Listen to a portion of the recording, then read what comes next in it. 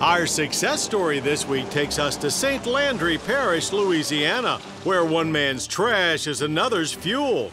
The St. Landry Parish Solid Waste District collects about 300 tons of garbage a day. As the waste in the landfill decomposes, it gives off a gas which is mostly methane.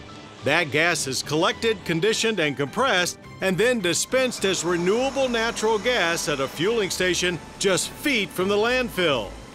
We have the capacity here to produce about 700 gasoline gallon equivalents per day. Uh, that equates to about 200,000 gallons per year, and we'll dispense almost every bit of that.